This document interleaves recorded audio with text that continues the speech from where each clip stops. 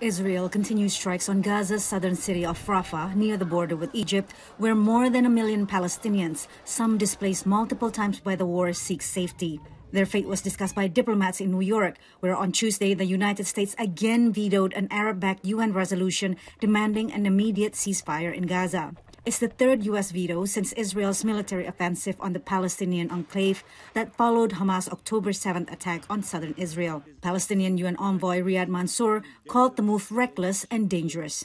Shielding Israel even as it commits the most shocking crimes while exposing millions of innocent Palestinian civilians to its wrath and more untold horrors.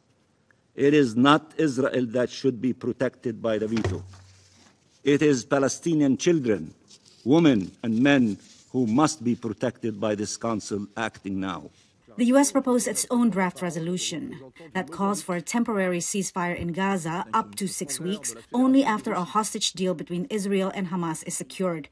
The U.S. is pushing for the deal with Egypt and Qatar. It also condemns the October 7th attack and makes clear that Hamas has no place in future governance of Gaza.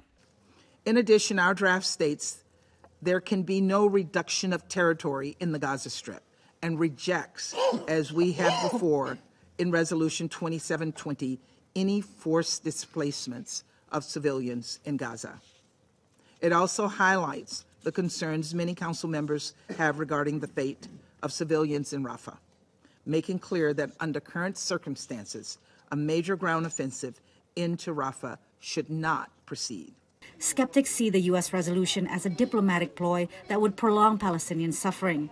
Israel has warned that unless the hostages held by Hamas are freed by the start of Ramadan on March 10th, it will push on with a ground offensive in Rafah.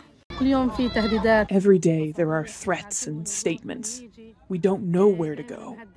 However, the U.S. resolution does show Washington's hardening stance on Israel's conduct of the war. This is the first time that the U.S. has proposed a text which really does include some fairly strong implicit criticism of Israel's campaign in Gaza and the situation in the West Bank.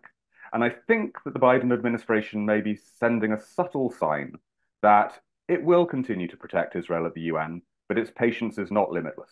Israeli Prime Minister Benjamin Netanyahu has vowed not to bow to international pressure. This week, his war cabinet is meeting President Joe Biden's top advisor, Brett McGurk, who will push Israel to agree on the hostage deal and hold off from a ground campaign in Rafah. Patsy Widakuswara, VOA News.